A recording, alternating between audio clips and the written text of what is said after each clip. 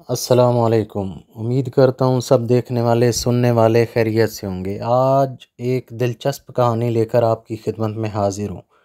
उम्मीद करता हूँ आपको पसंद आएगी। और आपसे एक गुजारिश है कि अगर अभी तक आपने मेरा चैनल सब्सक्राइब नहीं किया तो प्लीज़ इसे सब्सक्राइब कर लें। तो आइए कहानी की तरफ़ चलते हैं। एक आदमी की बीवी चालीस साल की उम्र में इंतकाल कर गई। जब उसके दोस्तों और रिश्तेदारों ने दूसरी शादी का मशवरा दिया तो उसने जवाब दिया कि उसकी बीवी का सबसे बड़ा तोहफ़ा एक बेटे का होना है और वो इसके साथ अपनी ज़िंदगी गुजारेगा। जब बेटा बड़ा हुआ तो उसने अपने तमाम कारोबार की ज़िम्मेदारियाँ बेटे को सौंप दी। वो अक्सर अपने दफ्तर में या दोस्त के दफ्तर में वक्त गुजारने लगा। बेटे की शादी के बाद वो आदमी ज़्यादा तनहा महसूस करने लगा। उसने अपने घर का मुकम्मल कंट्रोल अपनी बहू के हवाले कर दिया। बेटे की शादी के एक साल बाद वो दोपहर का खाना खा रहा था। जब बेटा भी दफ्तर से आया, हाथ धोकर खाने के लिए तैयार हो रहा था। बेटे ने सुना कि वालिद ने खाने के बाद दही मांगी तो बीवी ने जवाब दिया कि आज घर में दही नहीं है।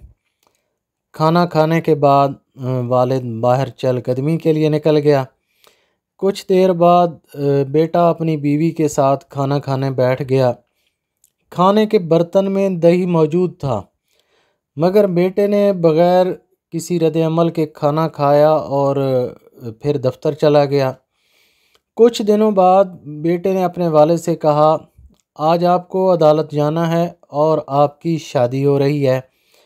वालिद ने हैरत से अपने बेटे की तरफ़ देखा और कहा, बेटा, मुझे अब शादी की ज़रूरत नहीं और मैं तुमसे इतनी मोहब्बत करता हूँ और अब तुम्हें भी माँ की ज़रूरत नहीं तो फिर मेरी दोबारा शादी क्यों?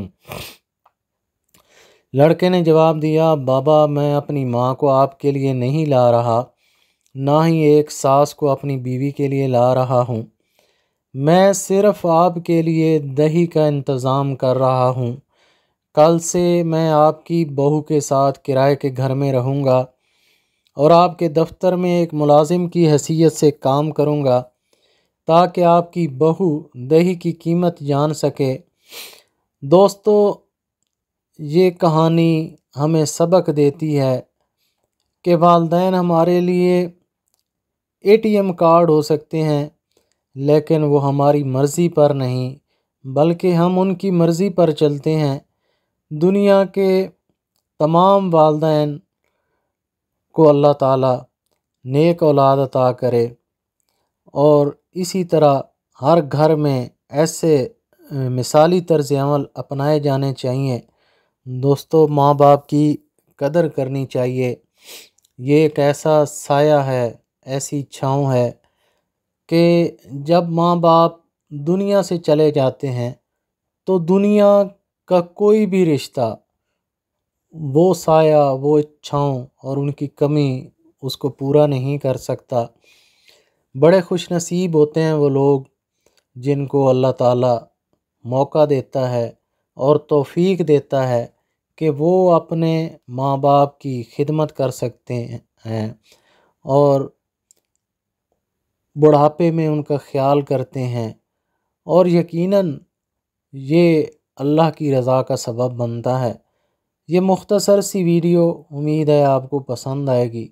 इन किसी और वीडियो के साथ दोबारा आपकी खिदमत में हाज़िर हूँगा तब तक आप दोस्तों से इजाज़त चाहूँगा और हाँ आपसे दोबारा गुजारिश है कि आप मेरे चैनल को सब्सक्राइब कर दें, मेरे वीडियो को लाइक करें, कमेंट करें, शेयर करें। आप सब दोस्तों का शुक्रिया। अल्लाह हाफिज़।